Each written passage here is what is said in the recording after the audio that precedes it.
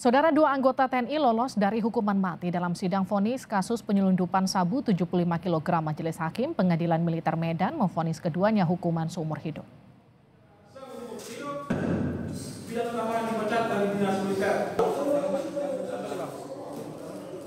Sertu Yalpin Tarzun dan Praturian Hermawan bersujud dan menangis usai hakim pengadilan militer membacakan vonis.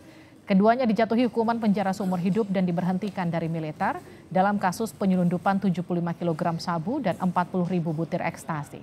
Vonis ini lebih ringan dari tuntutan auditor militer yakni hukuman mati.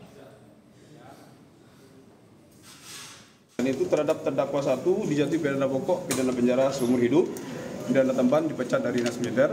Untuk terdakwa dua dijatuhi pidana pokok, pidana penjara seumur hidup dan pidana tambahan dipecat dari dinas militer.